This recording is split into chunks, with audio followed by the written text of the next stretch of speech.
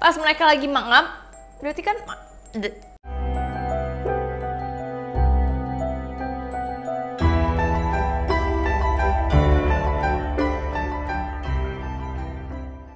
guys, welcome back to my channel. Perkenalkan nama aku Syira Antoinette dan hari ini kita bakal seru banget. Mungkin kalian udah banyak banget yang kangen sama aku bikin kompilasi-kompilasi tentang Fear Factor yang terseram. Kok kalian belum tahu Fear Factor itu apa? Fear Factor itu jadi kayak reality show di mana dia itu kayak menjanjikan kamu uang yang banyak banget tapi kamu harus melakukan sesuatu kayak dare gitu lah. Kayak sesuatu tantangan-tantangan tapi yang mengerikan banget. Entah ketinggian entah kayak sesuatu yang menjijikan seperti makanan-makanan yang serem seperti itu deh guys. Tapi kamu akan mendapatkan uang yang banyak. Jadi hari ini kita akan melihat semua kompilasi yang terseram dari Fear Factor ini Oke okay guys, kita langsung masuk aja ke video yang pertama. Ini benar-benar tantangan-tantangan yang gila banget dan ini aksi tergilanya tuh lebih kayak lebih tepatnya dari tahun 2016 ya ini kompilasinya.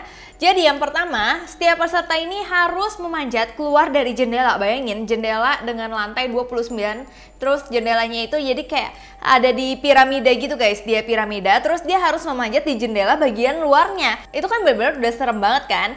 Terus dia juga harus meluncur di dinding piramida itu ke bawah. Ini kayak main prosotan, tapi ini di gedung guys. Bayangin main prosotan tapi di gedung itu kalau misalkan dia jatuh bagaimana gitu kan kabarnya. Terus mereka di sini meluncur lebih dari 25 kaki per detik aksi ini benar-benar sangat membahayakan banget tapi dia memang harus ngumpul-ngumpulin kayak bendera-benderanya itu. Dan walau misalkan orang bilang enggak kok itu pakai sabuk pengaman tapi menurut aku tetap uh, agak-agak udah bahaya nggak sih guys? Kalau kalian kira-kira kalian berani nggak sih melakukan hal-hal semacam ini?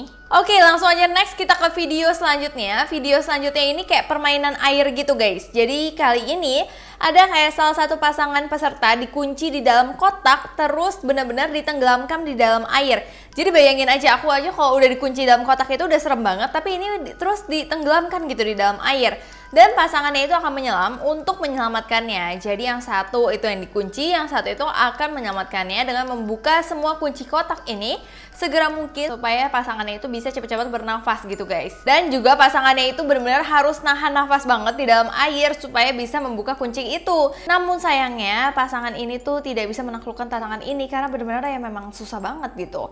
Bahkan ada yang hampir berhasil di detik terakhir memilih menyerah dan gak hanya menyerah aja dia juga terluka. Kalau kalian berani nggak sih guys? Kalau misalkan aku sih benar-benar kayak aduh ngap gitu. Aku ngeliatnya aja tuh ngap gitu. Oke okay, next nomor tiga. Satu persatu peserta akan memasuki kayak pusat pelatihan agent kimia gitu. Nah kalian tuh bisa menebak nggak sih kayak tantangan apa sih ini kayak memasukin kayak uh, ibarat kayak zaman dulu laboratorium gitu ya guys tapi setiap peserta ini tantangannya akan dikurung di dalam satu ruangan yang kecil dan harus bertahan selama mungkin di dalam ruangan yang bergas. Itu gasnya kan kayak gas-gas beracun gitu ya. Itu menurut aku bahaya banget gak sih? Oke, kalau misalkan dia kalau misalkan dia tahan dia dapat uang tapi kalau misalkan dia nggak tahan udah kalau nggak kalau udah tahan-tahan di detik terakhir terus tiba-tiba dia nggak kuat dia meninggal gimana coba ya huh, aku ungap deh tadi guys ngomongin kayak ginian tuh Oke, langsung aja kita next. Kali ini permainannya bersama binatang nih guys. Kalian bisa membayangkan hewan apa yang paling menakutkan? Kali ini peserta harus berenang di dalam sebuah tangki yang berisi beberapa aligator. Mereka harus berenang bersama aligator untuk mengambil tiang-tiang yang berada di dasar tangki itu dan mengambilnya ke atas guys. Beberapa peserta juga ada loh guys yang bisa melakukannya, namun salah satu peserta tidak sanggup melakukannya dan menyerah duluan karena benar-benar sangat menakutkan. Aku juga kayak oh my god ini tuh apa gitu ini serem banget menurut aku juga. Kayak aku nggak usah aligator kayak serangga-serangga aja misalkan nyamuk gitu ya.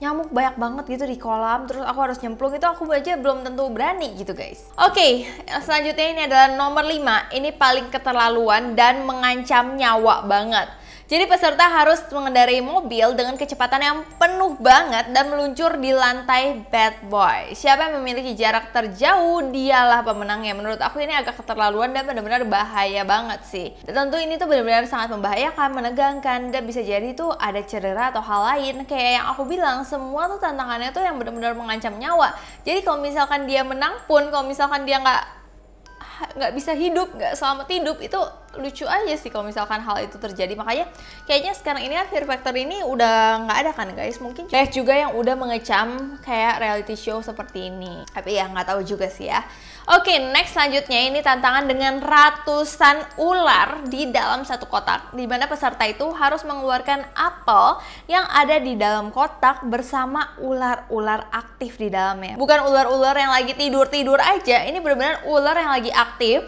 Terus kita harus mengambil apel yang ada di dalam kotak itu dengan tangan aja udah serem. Ini menggunakan mulut.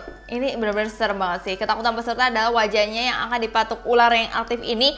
Kayak kalau misalkan tangan aja itu kalau misalkan kepatuk dia bisa kenapa-napa gitu apalagi muka entar ada bekasnya kenapa-napa serem banget sih menurut aku.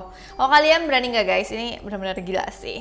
Oke okay, next ini adalah tantangan yang juga mengancam nyawa. Nggak kalah dari yang tadi-tadi yang udah serem ini juga serem banget setiap peserta harus masuk ke dalam sebuah tangki mobil yang mobilnya tuh kayak balap ugal-ugalan gitu guys. Mereka harus mengambil kunci yang ada di dasar tangki, kemudian dengan penuh perjuangan karena tangkinya terus bergerak setelah berhasil harus berjalan atau merayap apa pun caranya menuju titik akhir. Terus dia juga harus membuka sebuah kotak agar bisa membunyikan klakson tangki yang merupakan tanda mereka telah berhasil. Wow, ini benar-benar uh, kayaknya aku gimana ya? Ini tuh kayak seremnya tuh udah dia mobilnya lagi balap ugal-ugalan terus dia harus ambil kunci ke dasar tangki segala macam menurut aku Gila banget sih. Ini benar-benar orang-orang sana itu punya nyali yang besar banget menurut aku. Oke, tantangan kali ini lebih ke enek bagi kalian yang takut sama hal-hal seperti ini. Kalian agak-agak bisa agak-agak merem gitu ya. Jadi tantangan ini menguji adrenalinnya lebih ke sesuatu yang menjijikan. Jadi dia itu harus memakan keju. Oh makan keju kan biasa aja ya. Tapi kejunya itu bukan keju yang biasa tapi keju yang udah penuh belatung. Itu benar-benar kayak jijik banget gitu. Semua peserta nggak tahan di sini dan akhirnya mengalami mual-mual ya iyalah aku juga nggak tahan lah kayak gini tuh terlalu berlebihan ya. Oke okay, next ini yang ke sembilan lagi-lagi ini binatang peserta harus baring. Jadi dia tuh pada harus baring nih guys. Terus dia itu di kotak yang terbagi menjadi tiga bagian.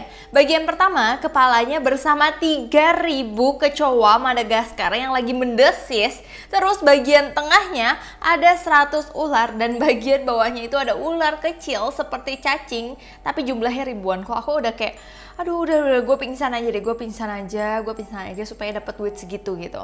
Ini gila banget sih. Bahkan ketika hostnya menyatakan go mereka itu harus meraih ular dan mengambil ular putih dan mulai menyortir dan menaruhnya di tempat tidur. Pemainnya juga harus menyortir dan menyingkirkan 10 ular putih dan yang terjadi lagi-lagi peserta tidak sanggup untuk melanjutkan tantangan ini sampai selesai. Aku sih baru pertama aja juga aku nggak sanggup guys. Nggak usah sampai tengah-tengah aku nggak sanggupnya Oke, okay, next ini aksi yang dirancang mengerikan juga karena peserta harus berenang masuk ke dalam kolam tertutup.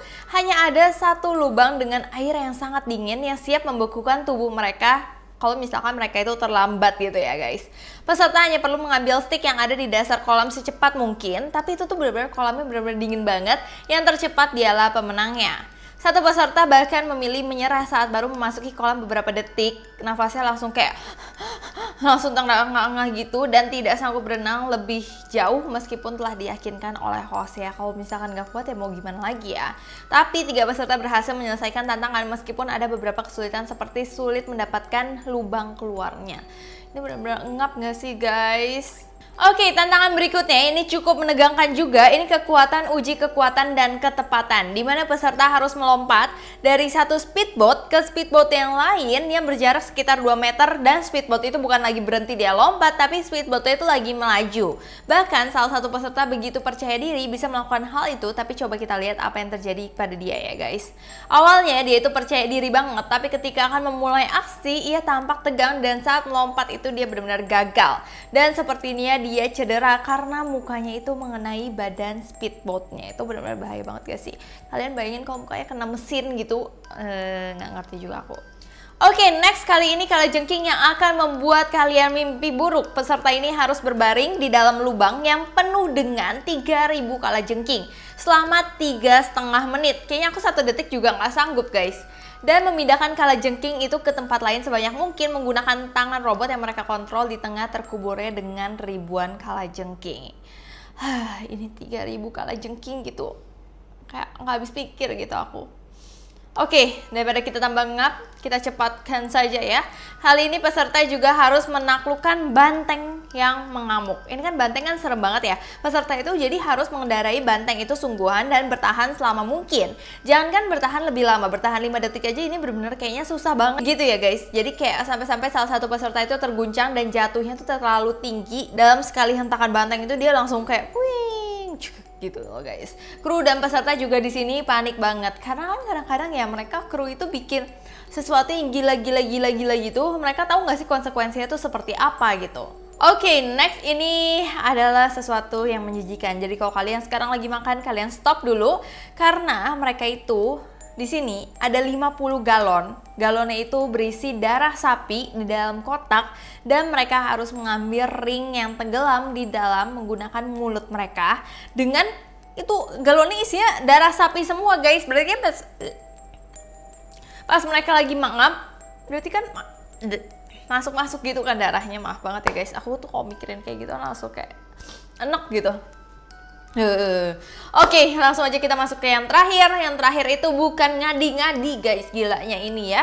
Menurut aku sih ini kayak aneh banget. Jadi peserta itu akan diikati kursi, kemudian satu persatu dari mereka lengannya akan ditusuk 10 jarum setajam silet dengan kayak ketebalannya itu bervariasi. Setiap jarum yang ditusuk membuat mereka benar-benar bereaksi kesakitan banget. Ada ya orang kata kayak aduh nyari duit susah banget gitu harus melakukan hal-hal seperti ini. Menurut aku ini gila banget kalau misalkan mungkin dia bilang orangnya yang nusukin udah profesional, tapi kan kita nggak tahu ya. Oh kayak badan kita ditusuk-tusuk gitu ntar reaksi efek sampingnya tuh apa gitu. Oke okay guys, inilah sekian dulu dari aku sesuatu yang menyeramkan, menjijikan, yang membuat ngap. Semoga kalian suka dengan video semacam ini. Kalau kalian suka lagi, kalian boleh komen di bawah ini supaya aku bisa bikinin buat kalian semua. Atau kalian boleh follow Instagram aku ke @cirantoinet dan DM aku di sana buat next aku bikin kayak gini lagi atau aku mau bikin apa lagi gitu guys. Oke okay guys, sebelumnya aku minta maaf apabila aku ada salah kata, salah pengucapan, salah sesuatu yang tidak berkenan di hati kalian. Aku minta maaf sebesar-besarnya. Terima kasih kalian udah nonton video ini. Sampai jumpa.